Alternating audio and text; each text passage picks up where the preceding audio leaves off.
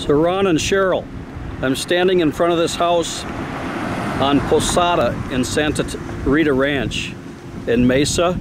Really a nice looking house from the street. The home has a very wide side yard. This is on the east side of the home.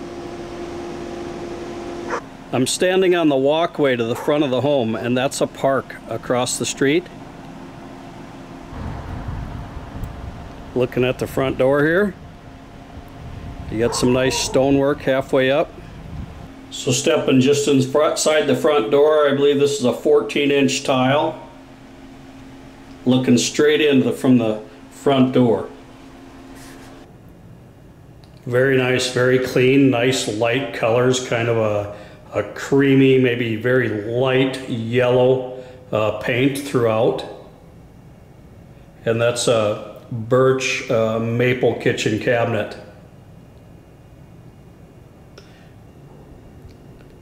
Dining area just off the kitchen. Standing in the eating area just off the kitchen, looking back towards the uh, kitchen.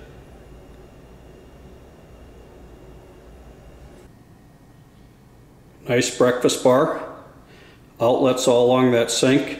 And you have some uh, pendant lights. And this uh, ceiling there in the uh, great room area, your family room, that's uh, I believe 10 foot. And that is the uh, double door den just as you come inside the uh, front door. So here's your guest bathroom. You got double, I'm sorry, just a single sink. There would have been room for double sinks medicine cabinet. As we step inside here, there's our linen closet and the uh, bathtub and uh, shower. Looking straight down the hallway, and these are our two guest bedrooms.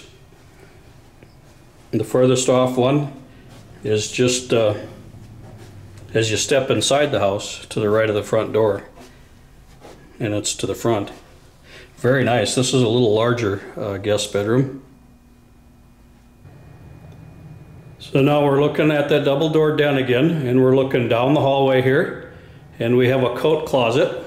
And so straight down this hallway to my left I'd go to the laundry room in the garage and to my right I'll step in the uh, master bedroom and a very nice, very large master bedroom. Got plantation shutters on the windows. Very expensive. This is a nice uh, kind of light gray, maybe a mauve. Uh, standing in the master looking out the door towards the laundry room in the garage. And then here is our uh, master bath. And a very nice master bath. This is just a linoleum on the floor in here. Uh, these cabinets look very nice shape. You do have uh, double sinks in this master. In the master bath, you've got a, a garden tub as well as a, an oversized shower in here. Here's the laundry room with uh, cabinets above the washer and dryer. There's a door stepping into the laundry room. You've got a door way over in that far corner going out to the backyard, and you see a pile of sunscreens to put on all the windows. Very important to have those in Arizona. So because this house faces south, it'd be nice to have um, insulated garage doors. And you can buy those panels to do that. It would keep your garage about 20 degrees cooler. Here's the east side of the home from the backyard. And uh, the exterior of the home looks good. The exterior paint looks like it'll be good for another uh, a few years yet. The paint does look good. The stucco looks great. Uh, very nice, attractive house from the outside. Um, the exterior of the home in about five years you'll probably repaint it it costs you about $2,500 to have the exterior of the home repainted so again this house faces north these two stories sit way in the back and that fence in the back is about six foot high. So you still have a fairly private backyard.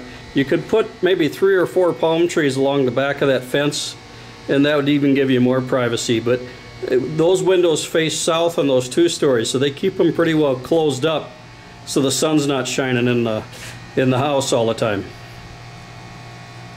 So all in all, a very, very nice home. Very well maintained. Uh, everything looks to be in excellent condition. The biggest future expense that I believe that you have in this home is putting a new AC unit in in the next three to five years.